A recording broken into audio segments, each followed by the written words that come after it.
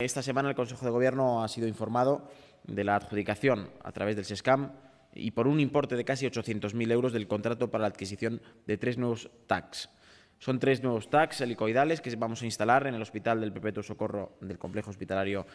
eh, Universitario de Albacete, uno de ellos, otro de ellos en el Hospital General de la, Mancha Centro en Alcázar de San Juan y el tercero en el Hospital de Santa Bárbara de Puerto Llano. Y es que, eh, tal y como se recoge la resolución de la adjudicación, este no solamente va a permitir la instalación de los equipos, sino también el mantenimiento de estos equipos que son de última generación. Y es que estos equipos, esta renovación, que se enmarca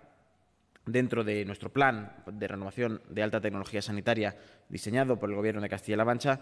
va a poder permitir proveer de una mayor vida útil y de añadir nuevas funcionalidades o actualizar los equipos disponibles e instalados en nuestros centros del SESCAM.